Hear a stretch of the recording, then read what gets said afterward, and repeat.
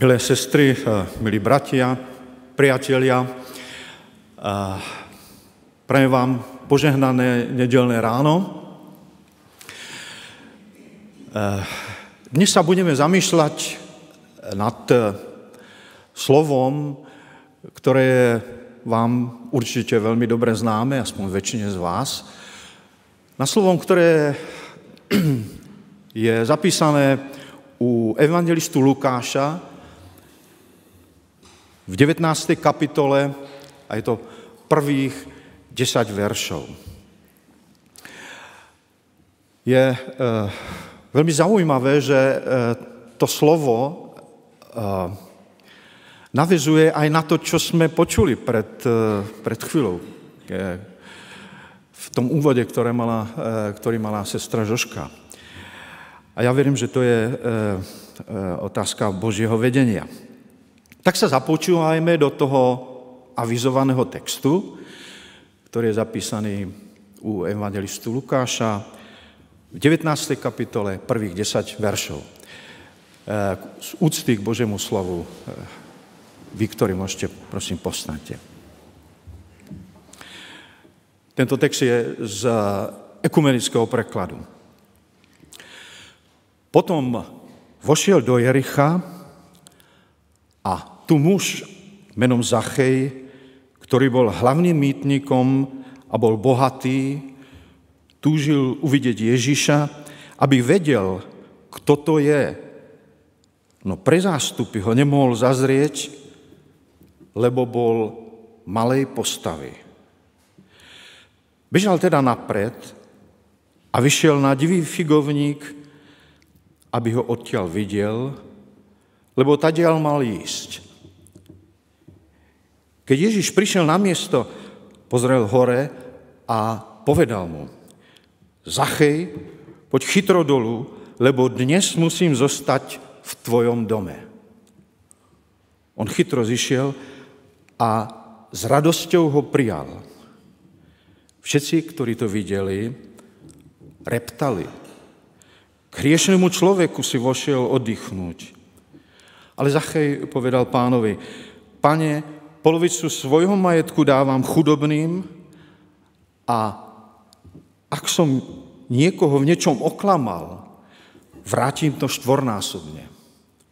Ježiš mu odpovedal, dnes prišla spása do tohto domu, veď on je aj Abrahamovým synom, lebo syn človeka prišiel hľadať a spasiť, čo zahynulo. Toľko text Božieho slova.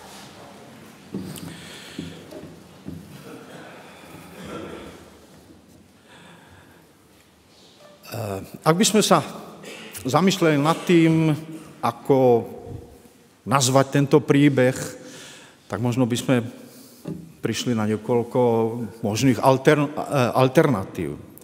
Napríklad, citujúc to prečítané slovo, dnes prišla spása do tohto domu. Alebo malý záchej a veľký a veľkorysý Boh. Alebo ak chcete, môže to byť jednoducho, príbeh o Zachejovi. Tak, ako sme ho e, možno počúvali, keď sme boli malí a chodili sme do nedelnej besiedky. Ak sme pozorne sledovali ten text, eh, je zrejme, že Zachej bol vnímaný ako skorumpovaný človek. A pravdepodobne aj bol. Téma korupcie je veľmi frekventovaná v našich médiách. A ja si dovolím prečítať jeden text, ktorý bol uverejnený v tlači pred eh, necelým rokom. Slovensko v boji proti korupcii naďalej stagnuje. Zhoršujú sa aj globálne podmienky na boj proti nej. Vyvlýva to zo svetového rebríčka vnímania korupcie od Transparency International, o ktorom informovala táto organizácia, jej pobočka na Slovensku. Uvádza sa tam, že v rebríčku skončilo Slovensko v, za rok 2016 na 54. mieste z počtu 176 hodnotených krajín. A išlo v tom roku o 7. najhoršie umiestnenie z krajín Európskej únie. V citovanej správe sa ešte okrem iného aj uvádza, že za korupciu nebol odsúdený žiaden vysoko postavený politik. Korupcia. Čo je to korupcia? Ako ju môžeme definovať? Sociálnej výhody. Alebo ak by sme sa pokúsili to definovať v nejakom v čo najširšom zmysle slova, ide tu na o morálnu skazenosť. Bohatí ľudia, ktorí pracujú na miestach, kde je riziko korupcie, sú asi vždy troška podozriví. Stretávame sa s tým veľmi často u nás, v tejto krajine, ale aj u susedov, či už južných alebo západných. A pre Lukáša, ktorý písal toto evanelium, bol tento človek tiež podozrivý. Mýtnik, bohatstvo a spravodlivosť. Tomu nešlo dokopy. čítame hlavný mýtnik. Išlo o pozíciu, ktorá e, v Biblii e, sa spomína iba na tomto mieste. Pravdepodobne označoval človeka, ktorý mal dohľad nad istou oblasťou, pričom mal pod sebou tamojších mýtnikov.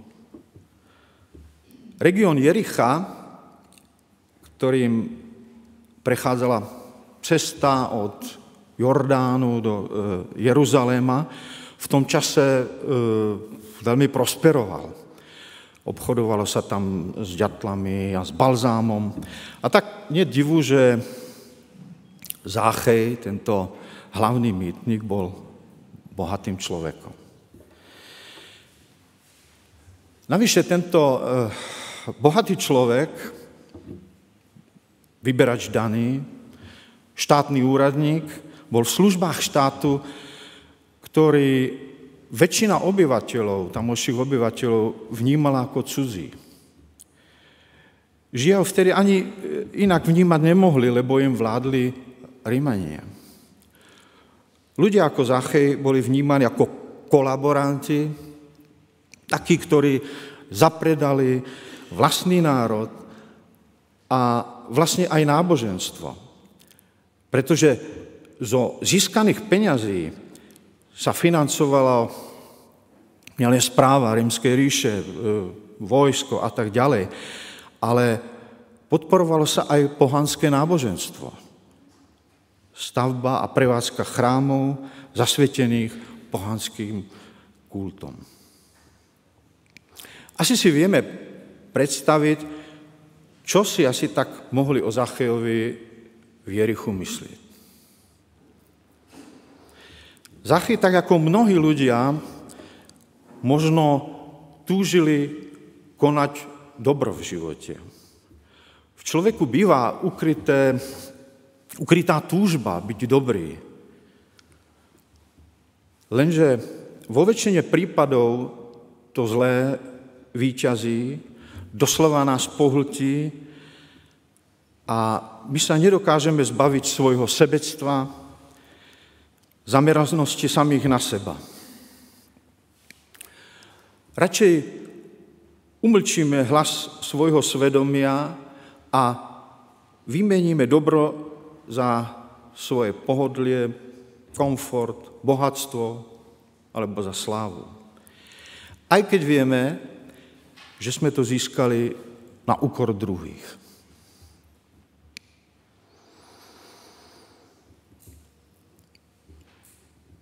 Aj keď vieme, že sme tým niekomu ublížili, obrali, o niečo v motnej alebo v duchovnej oblasti.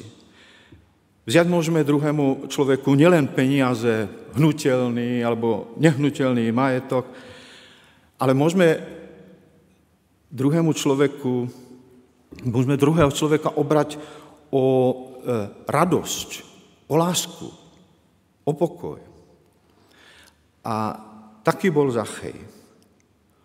Oberal ľudí o peniaze, čo samozrejme spôsobovalo hnev a nenávisť. A Zachy sa nedokázal zmeniť, nedokázal sa vzdať svojho komfortu. Zostala mu len nenaplnená túžba po dobre. A preto mu azda ani nezáležalo na tom, čo si ľudia o ňom myslia. Čítali sme, že bol malej postavy, čo mu bránilo uvidieť Ježíša cez zhromaždený ľud. Oddelili sa teda od zástupu, aby vyliezol na strom. Ako keby sa tým chcelo povedať, že každý človek, ak chce, ak chce uvidieť Boha, musí sa nejako oddeliť od davu, čiže od tej svetskej masy, a postaviť sa pred Bohom sám. Otrhnúť svoj život od svetských noriem a zvyklostí, aby to bol život sformovaný podľa Evanielia. Jedine ak opustí človek, aspoň duchovne a morálne, keď nie fyzicky, dav sveta, môže uvidieť Ježíša.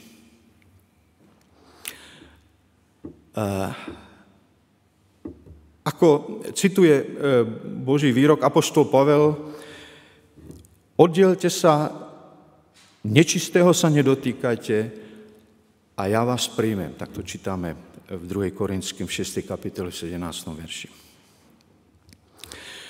Keď pán Ježiš prišiel na miesto, na ktorom eh, v korune divého figovníka Zachy pozoroval situáciu, Pozrel hore a povedal mu, Zachej, poď chytro dolu, lebo dnes musím zostať v tvojom dome. Zrazu prichádza pozvanie a nečakaný záujem. Chcem byť s tebou. Zachej je radosťou celý bez seba, otvára svoj dom.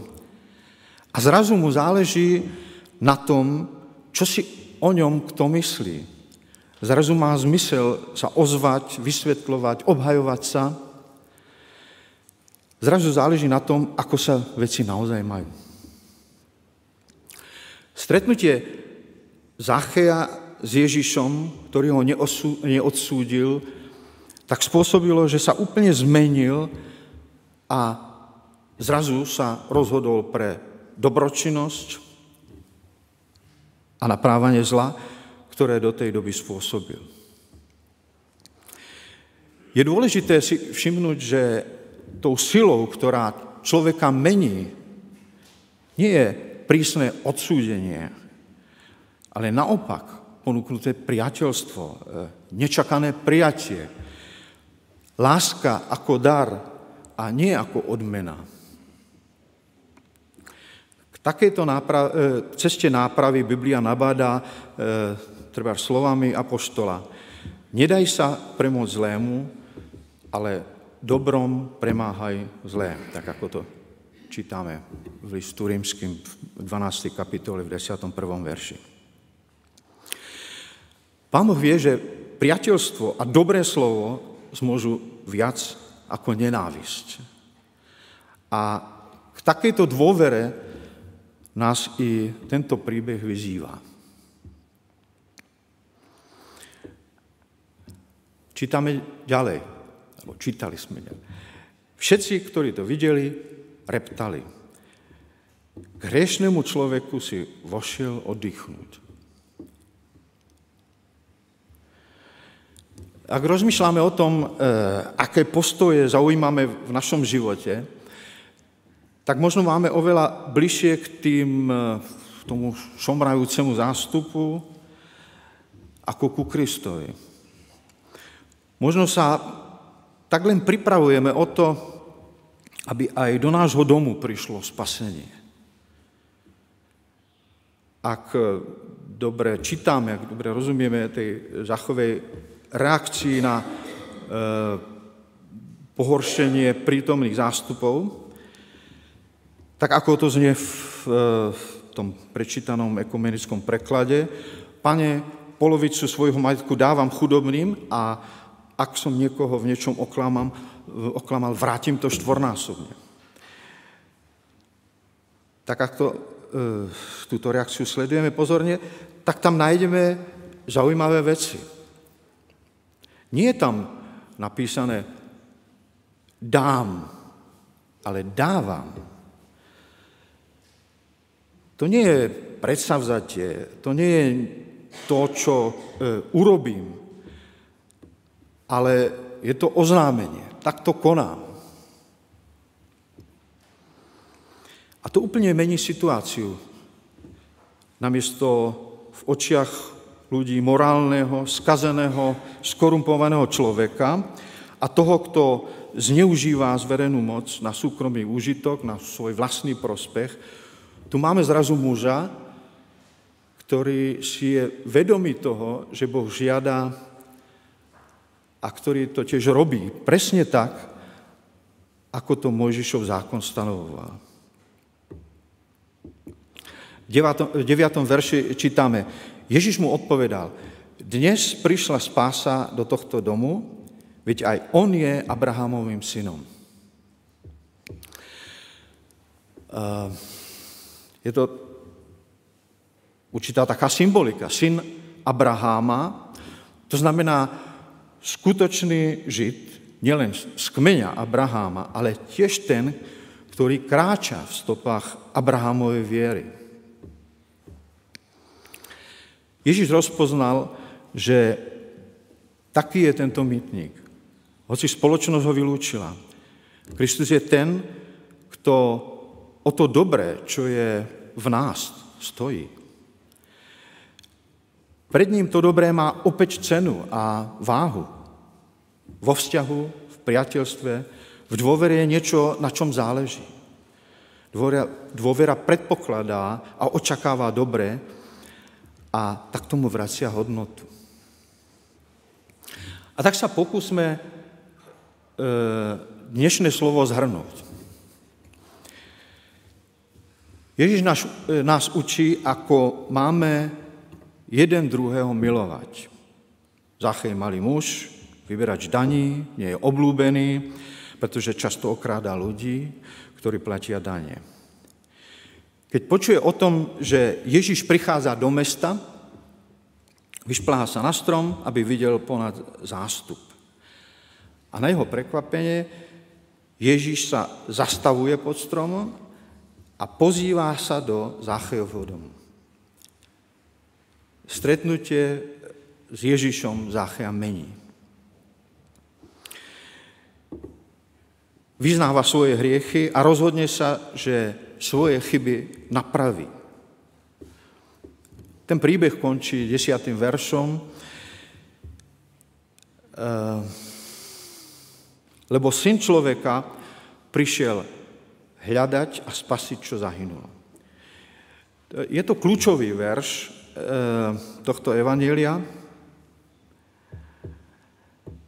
Syn človeka, titul pre Mesiáša, hľadať a spasiť, to je dôležité zhrnutie Ježišovho plánu.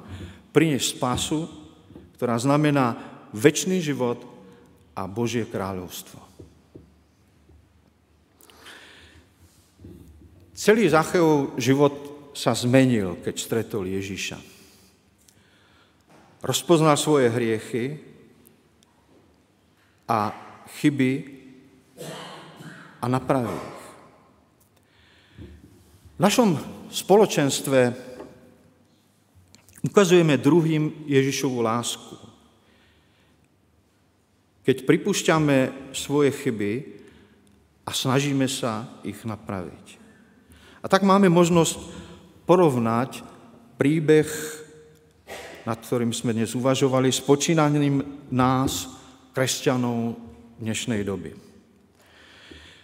Možno si nevšímame, že stromy okolo nás sú plné zachejov.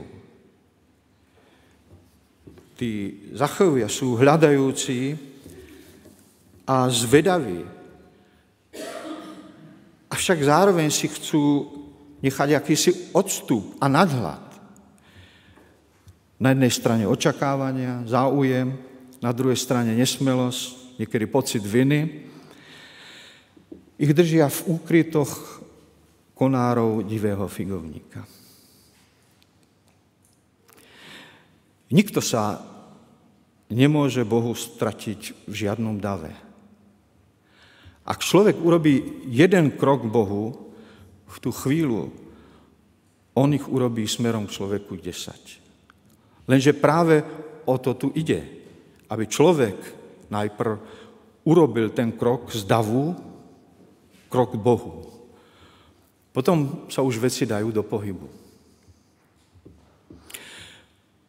Pán Ježiš oslovil Zachea menom, pozbudil ho, aby zostúpil zo svojho úkrytu. Prekvapil ho tým, že chcel prísť do jeho domu, aj keď mohol počítať s tým, že za to bude okamžite eh, ohováraný a kritizovaný.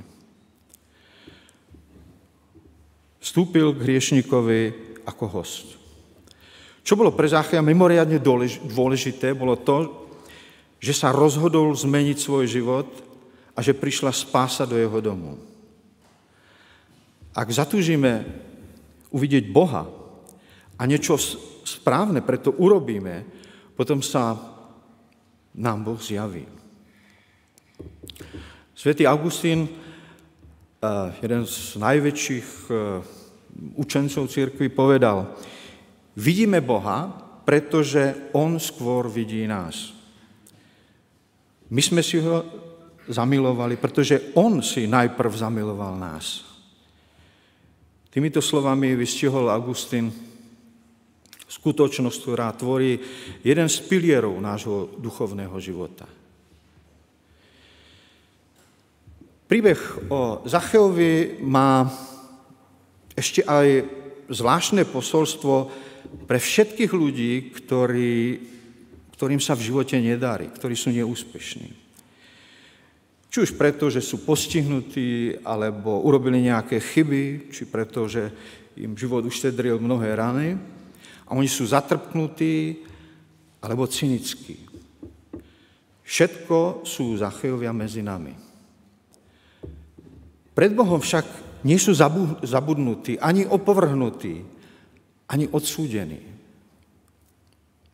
Boh ich hľadá a ide za nimi aj do ich neúspešných životov.